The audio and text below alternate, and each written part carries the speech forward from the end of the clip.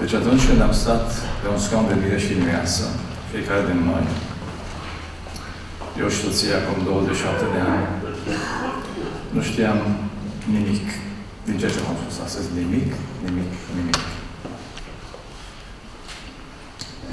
Așa că, dacă astăzi căsnicile noastre, ale celor prezenți, ale celor care ne-am aventurat în mariaj acum peste 20 de ani, dacă suntem încă pe orbită, aceasta nu este consecința unei uh, înțelepciuni pe care am dobândit-o din cărți. Este consecința Harului lui Dumnezeu. Cum spuneam, un om al Dumnezeu, câte vreme suntem conectați la perfuziile Harului lui Dumnezeu, lucrurile sunt bune. În momentul în care Dumnezeu ne deconectează de la perfuzia Harului, suntem oameni terminați. Așa că, dacă suntem ceea ce suntem astăzi, suntem prin Har. E adevărat faptul că majoritatea n-am știut aceste lucruri atunci când ne-am căsătorit. Nu ne scutește astăzi de anumite responsabilități pe care Dumnezeu le-a pus pe unii noștri. Noi uh, uneori credem că o familie funcționează de la sine și că este suficient ca soțul și soția să fie oameni lui Dumnezeu ca să se bucure de un mariaj fericit. Fals, nu e adevărat. O căsnicie nu merge bine doar atunci când cei doi, el și ea, sunt pocăiți buni. Și o căsnicie merge bine atunci când doi pocăiți buni, când un soț și o soție, sunt dispuși în fiecare zi să coopereze cu Dumnezeu, să se lase asistați de Dumnezeu în făurirea căsătoriei lor. Am văzut uh, aseară, cam pe vremea aceasta, că nu poți vorbi de o căsătorie garantată pe viață dacă nu ai în vedere un legământ foarte serios. Un legământ care, în vremea aceasta în care trăim noi, sfidează sfidează comportamentul majorității oamenilor. Într-o lume postmodernă în care nu mai sunt absoluturi și valori esențiale la care să se raporteze orice individ, nu e chiar simplu să te ții de legăminte biblice uneori cu presupunți. Acum vreo trei ani să fie, ascultam la BBC o știre care m-a făcut și să zâmbesc, dar și să tresar. Într-un orășel din Austria, la o nuntă, când preotul a întrebat o femeie din dragoste vrei să te duci în căsătorie după Her Iohan? Ea a zis, nu. Și a început să râdă, toți nuntașii. La care preotul foarte sobru a zis așa, pentru că legile statului austriac îmi interzic să oficializez o căsătorie în aceste condiții, ne vedem după șase săptămâni. La care vrea să zis, Domnule preot, stai un pic, am să fac o glumă în ziua anunții. Și el, ca o stâncă, a zis, stimată doamnă, pare rău, nu pot să vă cununi în aceste condiții. Și a lăsat o mască pe doamna din Austria. Omul ăsta e de admirat pentru că nu te poți juca cu un legământ conjugal, chiar dacă legământul înseamnă un da, când știi că tu, ca om al lui Dumnezeu, ca preot, îl reprezinți pe Dumnezeu în prezența unui bărbat și unei femei care se angajează să devină soț și soție sub autoritatea lui Dumnezeu. Nu te joci de legământul marital. Deci nu poți vorbi de o căsătorie pe care să o garanteze Dumnezeu Creatorul ei. Am văzut aseară dacă nu ții cont de câteva lucruri foarte importante. Dacă nu ai direcție comună cu cel de lângă tine, dacă nu ai domiciliu comun cu el sau cu ea, dacă nu ai denominație comună, biserică comună, anturaj comun, prieten comun, Și toate astea în jurul același Dumnezeu comun, care să fie Iahve, Cel ce a creat ființa umană, Cel ce a gândit mariajul și l-a gândit frumos.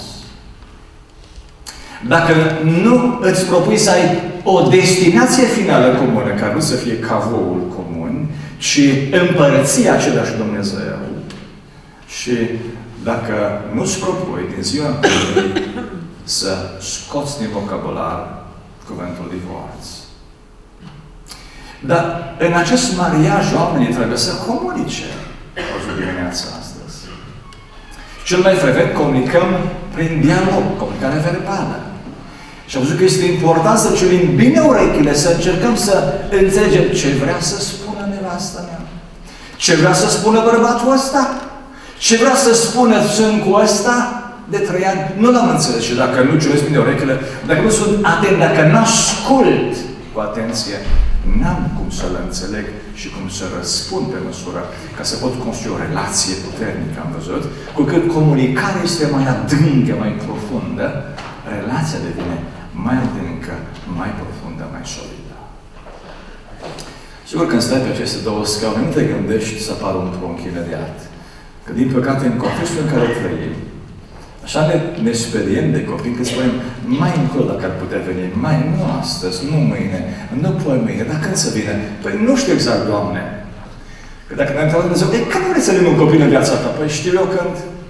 La anul. Peste doi ani. De aia e bine să lăsăm pe Dumnezeu, că El știe cel mai bine. Când e cel mai bun moment să ne dea un copil. Și am văzut dimineața că este important să înțelegem când e vorba de copii, că a crește un copil nu o artă în primul rând, ci este o bătălie spirituală atât de crâncenă, încât nu este una mai importantă ca aceasta. Am văzut că orice copil care se naște este opera directă, să nu zic capodoperă lui Dumnezeu. Este purtătorul chipului lui Dumnezeu. Se naște într-o lume care zace în cea rău, adică în diavolul. Se naște predispus pe păcat. Da? Dar se naște ca un posibil moștenitor al Părinții Lui Dumnezeu. Ori ținând cont aceste aspecte doar, am înțeles că diavolul este foarte interesat să blocheze copiii noștri să ajungă în Împărăția Lui Dumnezeu. Împărăție pe care diavolul, Lucifer, a pierdut-o. El știe ce a pierdut și încearcă să blocheze pe cât mai mulți oameni să ajungă în împărăție și să se împlinească ce a spus Hristos, că doar El știe. Știe ce scrie uh, în Apocalipsa 3 cu 21. Doar El citește și fiecare zi urăște ce scrie în Biblie de acolo. Știe că Hristos a promis. Cel ce va birui, că va domni într-o zi cu El pe scaunul Dumnezeu Universului. Fantastic. Miza este enormă pentru noi și pruncii noștri. Și diavolul e furios. Știind că oameni ca mine și ca dumneavoastră vom domni împreună cu Hristos, cu Cel ce este Domn al Domnilor și Împărat al Împăraților. El vrea să ne blocheze. Și vine cu oferte sub nasul nostru, nu mai să lăsăm copiii în creșa Lui, în grija Lui. Să fie El babysitterul copiilor noștri. Și o face încă din salonul de spital unde se nasc prunci. Ei, o să vedem acum, în seara asta, sunt două familii din Biblie. Când e vorba de această bătălie spirituală, vom vedea cum au înțeles oamenii Bibliei să o ducă această bătălie. Și pentru început o să vorbim despre o mamă care știe ce vrea. Și în partea lor, după o pauză, vom vorbi despre un tată care Dumnezeu se laudă în Biblie. Iov, un om după inima lui Dumnezeu. Ei, deocamdată, haideți să ne uităm la o mamă. Nu știm cum o cheamă, interesant. Nu știm numele. O să-l aflăm în Împărăția lui Dumnezeu. Sau noi știm sigur. Oricum, contextul de care vom citi, din Matei 20, nu dă uh, informații legate de numele acestei femei. Și hai să citim textul acesta. Este un text foarte scurt, un text pe care îl știm majoritatea. Matei 20, de la 20 la 23. Atunci, mama fiilor Zebedei s-a apropiat de Iisus împreună cu fiii și s-a închinat vrând să-i facă o cerere. El a întrebat-o, ce vrei? Poruncește, a zis ea, ca în împărăția ta, acești doi fii ai mei, să șadă unul la dreapta și altul la stânga ta. Drept răspuns, Iisus i-a zis, nu știți ce cereți. Puteți voi să beți paharul pe care am să-l beau eu și să fiu botezat cu botezul cu care am să fiu botezat eu? Putem. I-au zis ei. Putem. Și el a răspuns. E adevărat că veți bea paharul meu și veți fi botezați cu botezul care am să fiu botezat eu. Dar a ședea la dreapta și la stânga mea nu atârnă de mine sota, ci este păstrată pentru aceea pentru care a fost pregătită de Tatăl meu. Amen. Că noi la ceea ce spune Evanghelistul Matei aici, când mă gândesc la bătălia aceasta teribilă pentru domnia până cu Hristos, bătălie care se duce cu diavolul care încearcă să ne blocheze, îmi dau seama că intră în joc trei responsabilități. În primul rând, responsabilitatea parentală, apoi responsabilitatea personală și apoi responsabilitatea providențială sau divină. Și hai să luăm în ordine, pentru că dacă mă uit în text cu atenție, se pare că cel mai mult spațiu este alocat responsabilității parentale. Asta înseamnă că rolul primordial este cel al părintelui, când e vorba de pruncul lui. Când este vorba de locul unde va consuma eternitatea acest prunc, da? Omul de mâine. Atârnă de părinți vom vedea imediat. Și haideți să luăm, deci, această primă responsabilitate, responsabilitatea parentală sau a părinților, care vom vedea ține de două lucruri esențiale. Și, în primul rând, ține de cunoașterea pericolelor din societate. Un părinte nu poate să fie responsabil pe măsură de creșterea copilului lui dacă nu este conștient de pericolul din societate. Și haideți să ne un pic în Biblie. Vom buca în această Biblie și ar fi bine să aveți Biblie în mână. Uitați, eu am citit din Matei 20, de la 20 la 23. Și ca să înțeleg lucrurile, trebuie să vedeți un pic contextul în care ele se întâmplă. Și am pus în fața noastră uh, capitolul 19. Mă uit la subtitlurile pe care le avem în traducerea Cornilescu. Capitolul 19, de la versetul 1 la 12, subiectul este divorțul. Niște bărbați îl abordează pe Iisus și le întreabă, auzi, oare e voie, e drept, uh, ca un bărbat să-și lase nevastă din orice pricină și Domnul spune, dar oare voi n-ați citit că Dumnezeu a creat bărbat și femeie și a zis ce a unit Dumnezeu omul să desparte și i-au dus lucrurile mai departe. Bine, bine, dar Moise uh, a poruncit bărbatului să-i dea o carte de divorț de și o lase. Și Domnul a zis, ei, la ce bine a fost așa. Ideea este următoarea. Femeia aceasta, și pe care vorbește Matei, capitolul 20, își dă seama că trăiește într-o lume în care rata divorțului crește în fiecare zi. Are doi băieți mari. Dacă au fost ucenicii lui Iisus, înseamnă că erau în jur de 30 de ani, nu au fost și adolescenți.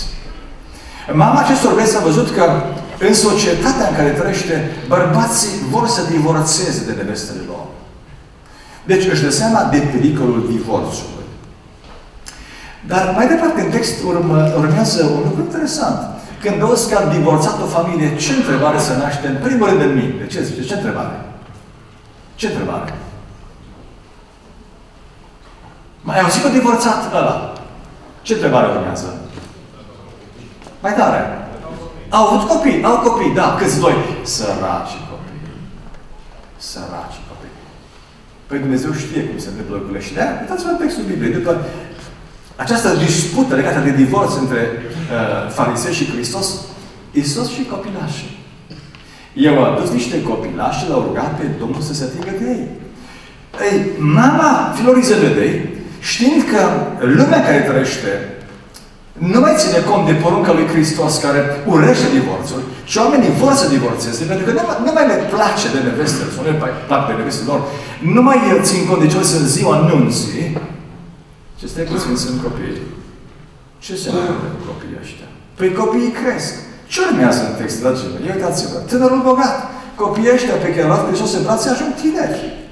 Își dă seama această mamă că trăiește într-o lume în care tinerii sunt însetați după bogății și când este vorba de împărăție, dacă trebuie să renunțe la împărăția materială, zic mersi frumos pentru aia veșnică. Nu pot renunța la împărăția aceasta materială. Nu pot da tot ce am ca să pun pe împărăție mersi frumos.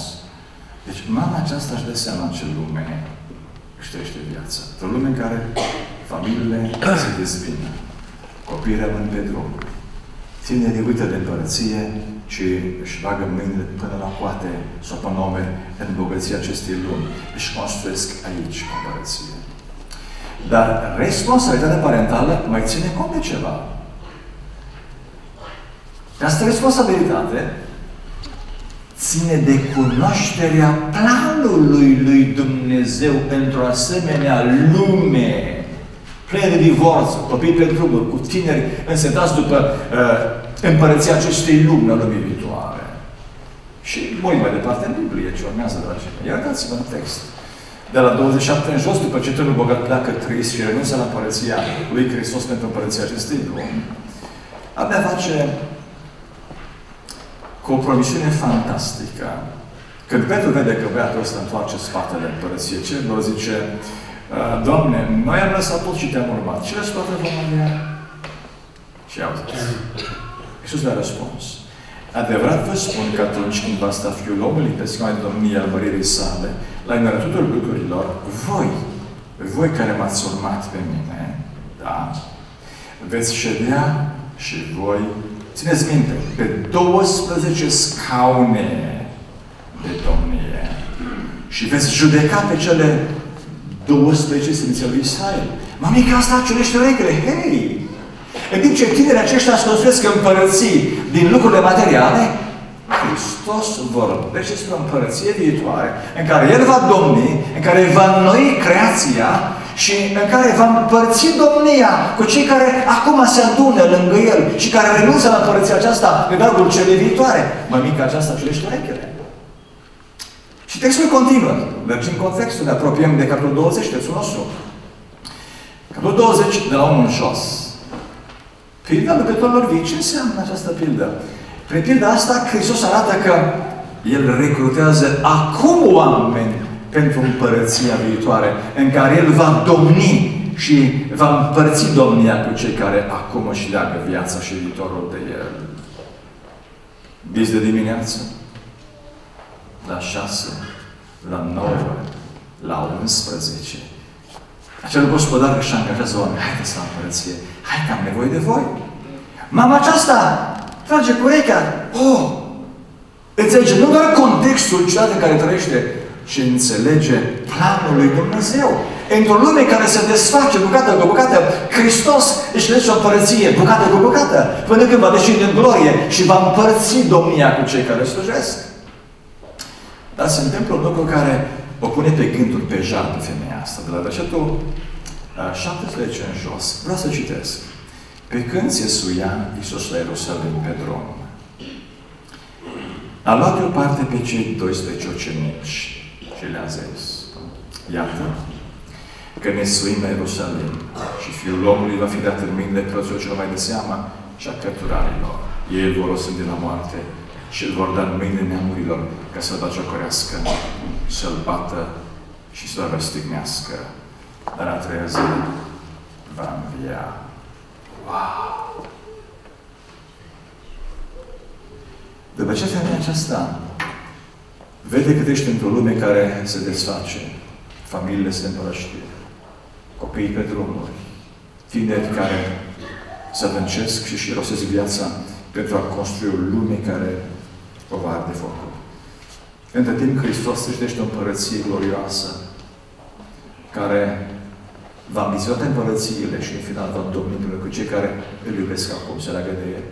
În loc de zicând, băieți, mergem la Ierusalim, acolo să fiu bătut, jocorit și crucificat. Dar apoi voi învia. Și femeia aceasta zice, stai puțin. Păi înseamnă că e o șansă pe care nu pot să o ratez. Înseamnă că nu pot să-mi permit să ignor momentul. Dacă nu mai prind șansa aceasta. Și femeia are în minte ce a spus Mântuitorul în capitolul 19 cu 28. Adevărat, adevărat vă spun că atunci când va sta Fiul omului pe scaunul de domnia al măririi sale, la vremea tuturor lucrurilor, voi care m-ați urmat veți cedea și voi pe 12 scalai domnie și veți judeca pe cele 12 sfințe lui Israel. Femeia aceasta înțelege pericolele, înțelege planul lui Dumnezeu și mintea ei mai pricepe un lucru fantastic de important. Înțelege prioritățile în viață. Când aude că Hristos merge spre Ierusalim și acolo își va da viața, zice, acum este momentul. Nu pot rata șansa. De aceea, uitați cum continuă textul. Atunci, în momentul acesta, când mama celor doi băieți aude că Hristos va muri imediat, în curând, că nu mai este timp, își spune, nu pot rata șansa, trebuie acum să intervin. Atunci, mama fiului Zebedei s-a apropiat de Isus. Doar o mamă care înțelege pericolele în care își trăiește viața ei și a familiei, doar o mamă care percepe planul lui Dumnezeu într-o asemenea lume și doar care percepe prioritățile în lumea aceasta, va alerga la Isus Hristos și va vedea nu singură și va ști ce să vorbească cu Isus Hristos. Haideți să ne uităm în continuare. Ce face femeia aceasta? Care a înțeles că într-o lume bântuită de crize, soluția este una singură, nu două să fie complicat să alegem, ci este Isus Hristos, Domnul, să vi se fie numele. Și spune textul, pe versul 20, că atunci mama fiului Zăbedei, ia uitați ce a făcut. Textul este atât de clar. S-a apropiat, mergi pe slide-ul nostru, de rog. S-a apropiat de Isus. Nu singură. Împreună cu băieții ei. Și i s-a închinat. Băieți, haideți cu mama! Erau niște vrăjgani ăștia, dragii mei. Nu erau niște adolescenți. Erau băieți mari, 20-30 de ani. Și zis, băieți, în praf cu mami! S-a închinat lui Isus. Băieți, capul jos, noi suntem în fața lui Isus. Nu putem sta cu mine în buzunar și oricum. Este Dumnezeu din Dumnezeu adevărat. Hai băieții mami! Dar mamă, de asta e la 10 că râd de noi, dar suntem tot cu cordonul umbilical legat de, de, de tine, mame. Băieți, băieți, voi înțelegeți în ce lume trăim noi? Hai cu mama înaintea lui Isus. Soluția voastră este Isus Hristos Domnul. O mamă care știe ce vrea să apropie de Isus Hristos, dar niciodată singură, ci întotdeauna cu copiii ei în suflet, în inimă, în viață, în minte. S-a apropiat de Isus și cu băieții ei, i s-a închinat, dorind, vrând să-i facă o cerere. O cerere care te face să o invidiezi pe această femeie. Pur și simplu. Vreau să se pricepem că doar un închinător adevărat știe ce vrea de la Domnul pentru copilul lui.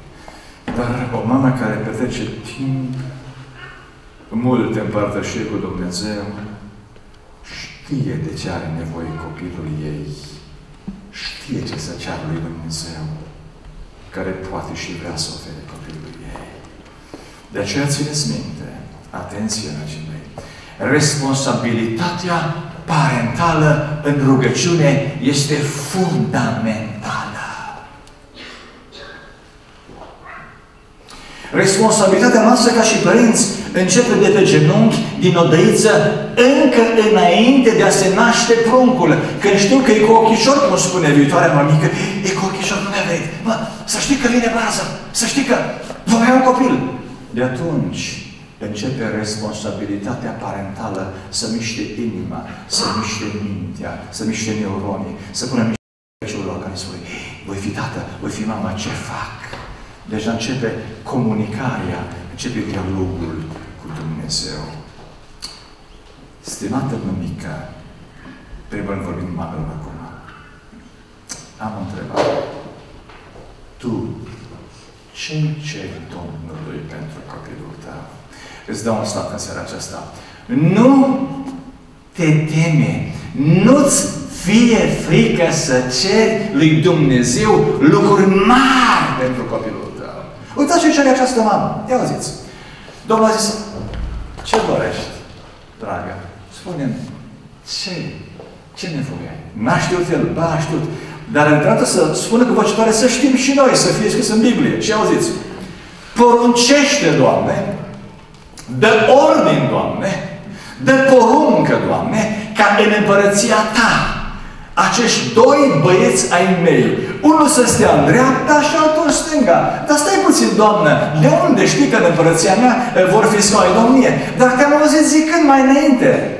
Că atunci când vei noi lucrurile în împărăția ta, tu vei sta pe un scaun de domnie. Și lângă tine vor fi 12 scaune de domnie și vor sta pe aceste scaune cei 12 apostoli. Păi înseamnă că primul scaun este în, în dreapta și al 12 în stânga. Doamne, aș vrea ceva.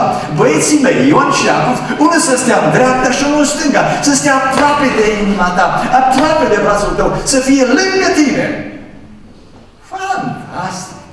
Cred că până și Domnul a admirat un asemenea curaj. Dar a zis, Doamne, dacă s-ar putea, dacă vei avea ușieri în împărăție și responsabil de parcare, te rog, băieții mei, măcar acolo, știi, să răspundă în parcare. Măcar să stea la ușă. Doamne, te rog frumos, eu nu vreau să fiu o femeie mândră și pretențioasă.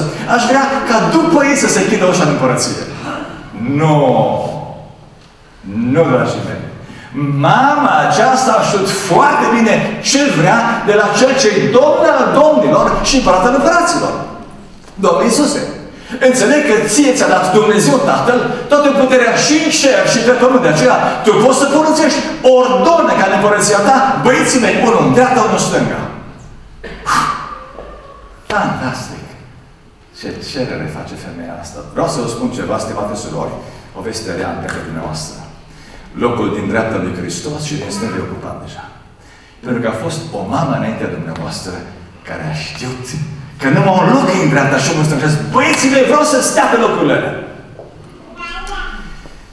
Este ca și cum spune mama, băi băiatul, mami, hai să spun ceva, uite tu începi școala. Aș vrea să fiu un băiat de nota 10. Nu zici, băi, știi ce? Viața asta e grea. O, ia cinciu, că noi suntem mulțumiți eu cu tactică și noi am fost și repetean și coricean și... Am atât de notele de la 3 la 10. Nu! Că dacă îi cer unui prunc să învețe de 5, o să ia un 3. Dacă spui, beata mi, de 10 ești, ai creier de 10. 10 poți lua. Va lua probabil 8. Dar nu să o ia 3. Mama asta a zis, Doamne Iisuse, înțeleg că în împărăția ta tu ești suveran. Înțeleg că Tu ești Domn. Că Tu vei sta pe scaunul de domnia Universului. Dar înțeleg că nu ești egoist, ci vei împărți scaunul tău cu cei ce-ți slujesc astăzi. Mă simt onorată că băieții mei au fost aleși de Tine. Doamne, poruncește ca în împărăția Ta. Băieții mei, unul în dreapta, și nu stânga. Hu! Hai să vin la noi. Noi nu putem cere asta, Domnule, că deja locurile sunt ocupate, am spus. Dar vă dau câteva sugestii. Când ne rugăm Domnului pentru copiii noștri, poate că îi spunem, Doamne, aș vrea să fie sănătos copilul și bine să fie Doamne, n-aș vrea să cerșească pâine. Oricum avem garanția că nu o să cerșească dacă noi suntem lipiți de Dumnezeu. Dar câți dintre noi ne rugăm și spunem, Doamne, pune în băiatul meu, pune în fica mea dragoste de Dumnezeu. Pune în copiii mei toată plinătatea Sfântului Duh.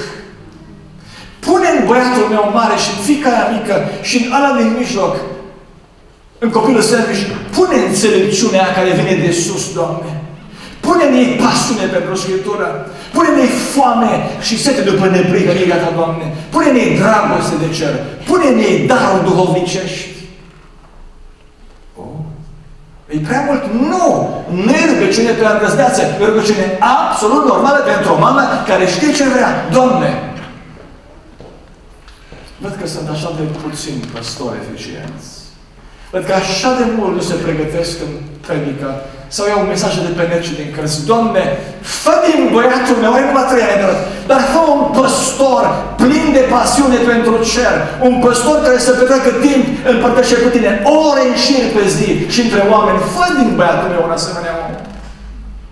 Doamne, sunt așa de mulți proroși mincinoși în bisericile noastre că ne-am săturat, Doamne. 1% 1 la 400 ca vremea lui Ahab. 1 bun și 400 faci. Doamne, dă Doamne, ca și Isaia, ca și Ezechiel, ca și Daniel. Fă-l asemenea, fă Doamne, că poți. Chiar dacă nu să fie medic și inginer, chiar dacă nu să fie profesor, fă un profet, Doamne.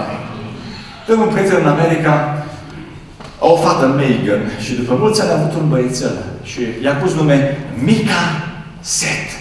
A zis, John, aș vrea ca băiatul să fie un profet ca și Mica și un om ca Set, să se teamă de Dumnezeu. Doamne, am avut un Billy Graham în istorie și a pus te rog, fă din băiatul meu un evanghelist celebru prin care mii sau zeci de mii de români să cunoască puterea mesajului Mântuitor. Fă asemenea om din băiatul meu, Doamne. Chiar dacă nu o să câștige bani, chiar dacă nu o să fie sănătos, fă un om plin de pasiune pentru cuvântul Scripturii. Fă un misionar, Doamne, prin care oamenii să cunoască mesajul de Tale. Doamne, sunt așa mulți cântăreți care cântă numai să sune. Doamne, fă din fica mea o cântăreață care să primească prin Duhul Sfânt cântări pline de har și de mesaj. Te rog, fă din copiii mei cântăreți plini de har și de Duhul Sfânt. Noi trebuie să cerem asta. Eram la un program cu familia, la o biserică din Cluj și au cântat copiii mă și trei cântări. Zic, mă, de unde a fost cântările astea?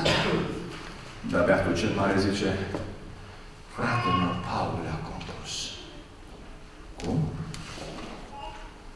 La nuntă la fica noastră, a cântat o cântare, cum zice, de unde ați luat de pănet? De la mare citea, Paul, adică fratele mic, Paul a compus-o. Mereu zic, Doamne, dacă era tău să cânte la asta, micu, toți sunt cântări să facă Doamne, dă Tu cântări că ne-am săturat să tot traducem de la american. Sunt grozave, sunt foarte bune, înțelegeți-mă corect. Dar, Doamne, uitați-vă, biserice sunt pline de tineri. Cine se roagă să le dea acestor tineri cântări din cer? Din cer de la Dumnezeu. Noi, ca părinți, trebuie să facem asta. Pentru că avem copii pentru care ne-am rugat și ne rugăm.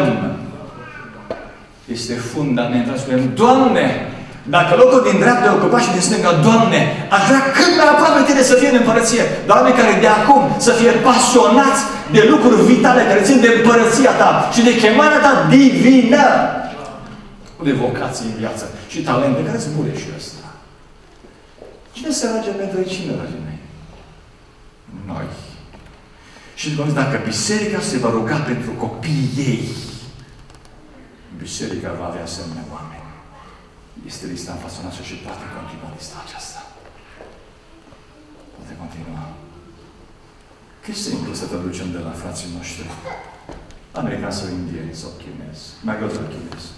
Dar putem traduce. E mai simplu decât să stăm în genunchi. Ca părinți, Doamne, Doamne, dă cuvinte mele. Doamne, sunt copiii noștri. Pe Renea l-ai chemat de când a fost un copil. De ce n-ai chemat și pe fiul meu sau fica mea? de când e o copilă. Iată o mamă care știe ce vrea. Dar o întrebare pentru tați. Unde a fi fost tatăl acestor băieți? Unde a fi fost fraților? Unde a fost? Nu era treaba tatălui să vină cu băieții pe teren la evangelizarea lui Hristos, să zică, hai eu cu băieții mei? Nu era normal ca mama să stea la cratiță? Unde a fost tata fiului Zebedei? Că așa cheamă Zebedei, da? Unde a fost?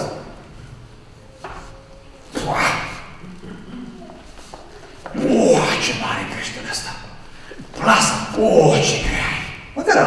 La pescuit, dragii mei. La pescuit. La pescuit. Pentru că era om de afacere. Uitați-vă. Dacă uită Marcu 1, 19 și 20, hai să citim ce Biblia așa. Iisus a mers mai departe și a văzut pe Iacov, fiul lui Zebedei și pe Ioan, fratele lui, care și erau într-o corabie și își dregeau și reparau mrejele. Îndată i-a chemat și i-au lăsat pe tatăl lor Zebedei în corabie cu cei ce lucrau pe plată, cu angajații tatălui și au mers după Iisus. Zebedei era un om de afaceri. Avea un business de pescuit, avea o corabie și angajați. Dar ca tata a zis soției probabil iubitor, Cineva trebuie să ducă bani în casa asta. Vede de la mâinile mele. Vede de la organismul sănătos. Bătut de vânturi și de ploi. Sunt pescar din tată în fiu. Generație în generație. Iubitor. Eu merg la pescuit astăzi. Că avem mulți sărași de hrănit. Vezi că și când Mântuitorul vine în satul cu tare. Ia băieții. Dar n-a făcut mâncare. Du-te cu băieții. Nu scăpa șansa, iubitor, că am înțeles că pleacă spre Ierusalim. Și vezi ce se întâmplă. Draga mea, ia doi băieții, bă, Iacov ia cu mămica. Tata pleacă cu angajații, să ducem pâine în casă, să prindem pește. Că e o zi bună de pescuit astăzi. Voi la evangelizare. Voi la conferință cu familie. Voi mergeți pe teren. Eu în Duhul sunt cu voi, chiar când arunc mănânșele. Și Domnul să se de voi. Extraordinar. El a stat în corabie. A înfruntat pericolele mării. Dar a zis, iubitor, ca mamă, du-te cu băieții. Voi stați pe metereze. Și unde auzi că merge Iisus, după El. Urmați-l. Doamne, ce familie grozavă. În care și-am înțeles responsabilitățile. În care El, ca și prot al casei, ca și cap al meu, se asta, asta fac eu, asta faci tu, băieți, ascultați de mare. Dar vezi când e vorba de această bătălie spirituală foarte crâncenă care se dă pentru viața copilului nostru, viața veșnică, nu pentru viața asta, bucățica asta, ciobosă de viață de 70 de ani sau 80 de ani. Intră în competiție, în primul rând, în responsabilitatea părinților, apoi cea a copiilor, adică responsabilitatea personală. La urmă urmei, oricât ar fi de importantă responsabilitatea parentală, ea are limite. Ca și părinți, dragii mei, oricând ar fi de duhovnicești, suntem responsabili să vorbim și să trăim în așa fel încât copiii noștri să vadă în noi pe Hristos. Dar la urmă de mântuire este personală și netransmisibilă. Oricât am vrea noi să fie pruncii noștri mântuiți și fericiți, nu putem obliga. Nu avem cum. Nici Dumnezeu nu poate. De aceea spune Domnul în Marcu 16 cu 16, cine va crede și se va boteza, el însuși va fi mântuit. Dar cine nu va crede, va fi osândit. Da? Acum haideți să mă uit în text mai departe ce spune cuvântul. După ce Hristos a auzit femeia aceasta cu, cu o cerere atât de curajoasă, a zis în versetul 21. Uh, la versetul 22. De răspuns Iisus i-a zis, nu știți ce cereți. Păi voi vă dați seama ce înseamnă să stați unul în dreapta mea și unul în stânga în împărăția cerurilor? Ia uitați mai departe. Puteți voi plăti prețul, adică puteți voi să beți paharul pe care am să îl beau eu și să fiți botezați cu botezul ca să fiu botezat eu. Puteți? Adică a sta în dreapta și în stânga mea ca fiu de Dumnezeu înseamnă un preț enorm. Ce au zis băieții? Băi, curajoși ca mama lor. Putem! Ce a zis Domnul? Mă, mă, mă, stați, mă. Făia gura prin așa a zis, hai să auzim pe Hristos. Ia zi, dragii mei. Și 23. El ne-a răspuns. E adevărat că veți bea paharul meu și veți fi botezați cu botezul cu care am să fiu botezat eu. Cine a fost primul martir dintre cei 12? Cine? Dintre cei 12, nu. Lăsăm pe Ștefan. Cine a fost? Iacov a fost decapitat. A plătit prețul. A plătit prețul. Dragii mei, oricât am vrea noi mântuirea copiilor noștri, responsabilitatea noastră ca tată și mame se oprește și intră în joc, să intre pe rol responsabilitatea lor. Ne rugăm pentru ei cu pasiune și o facem. Dar vine vremea când ei vor trebui să decidă. Puteți, a zis Domnul? Mama voastră vrea. Voi vreți? Vrem, Doamne Iisuse. Prețul mare, îl plătiți? Îl plătim, Doamne. Pentru că merită. Merită. Așa că va veni vremea când, la maturitate, copiii noștri vor decide și ne rugăm Domnului că atunci când va veni vremea să decide înțelept, să accepte prețul, care e același. Cine vrea să mă urmeze, să se lapre de sine, să-și ia cruce în spate și mă urmeze în fiecare zi. Dar lucrurile nu se opresc aici. Am văzut responsabilitatea enormă a părinților, a mamei în cazul acesta. Am văzut responsabilitatea personală a copiilor. Dar intervine ceea ce este cereașele pe tot. Responsabilitatea providențială. Hristos spune așa, 123, e adevărat că veți bea paharul meu și veți fi botezați cu botezul care sunt botezat eu. Dar a ședea la dreapta și la stânga mea nu atârnă de mine să o dau. Și atenție, este păstrată pentru aceea pentru care a fost pregătită de Tată. Adică mântuirea copilului meu și al tău nu este opera mea, nici opera lui, este opera lui Dumnezeu, binecuvântat să fie numele. De aceea, dragi părinți, să reținem că ceea ce nu poate face nici mama și nici tata, ceea ce nu poate face niciun om, oricât de dotat ar fi, aceea face doar Dumnezeu prin Harul Său. Când ucenicii au văzut că tânărul bogat, atât de pocăit, nu poate intra în împărăție. O zis Petru, Doamne, poate duce ai așa mare. Cine mai poate fi mântuit? Și a zis Domnul așa. Ce este cu neputință la oameni. Este cu putință la Dumnezeu. Așa e. Așadar, în final, nu atârnăm nici de cine vrea. Mama vrea. Copilul aleargă. Și atârnă de Dumnezeu, care are milă. Doamne, fă-ți milă de noi și copiii noștri. Și copiii copiilor noștri, în oricât de mare număr îi vei chema tu, la mântuire. Și vreau să închei această sesiune cu rugăciune pe care o rostea o mămică. M-a surprins când am citit despre mama aceasta. Ea avea un bebeluș. Și în timp ce îl spăla în bălioară, spunea așa, Doamne, eu spăl cu șamponul acesta pentru bebeluș. Când va fi mare, spală-te rog în sângele fiului tău. Când îl hrănea la piept cu laptele ei, zicea, Doamne, eu îl hrănesc cu laptele care mi le-ai dat când va fi mare, hrănește-te rog cu laptele duhovnicesc și curat al cuvântului tău.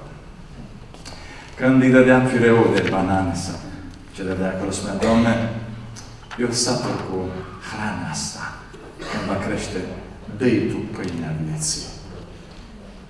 Apoi când dădeam ciuțul și bironul cu lapte, cu, cu apă, spunea, Doamne, eu îi dau ceaiul ăsta și apa asta.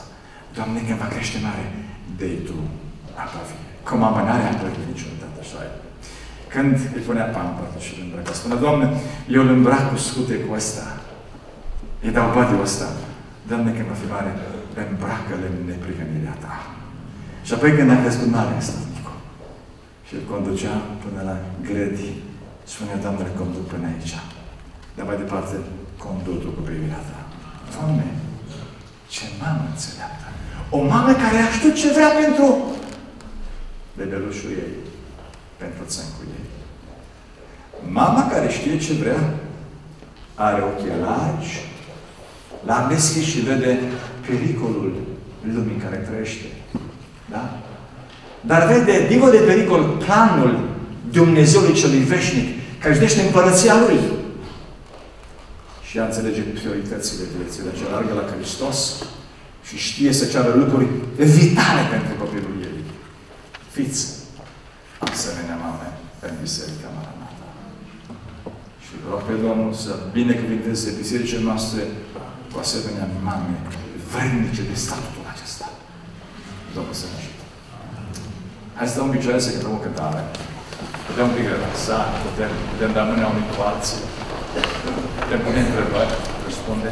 Și apoi vom trece la partea finală, unde vom vorbi despre Iov, un tată după inima lui Dumnezeu. Hallelujah.